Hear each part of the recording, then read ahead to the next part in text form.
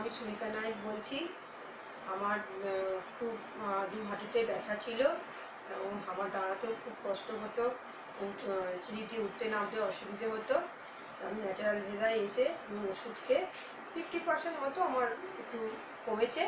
এখন আমার তবে একটু ভালো আছে।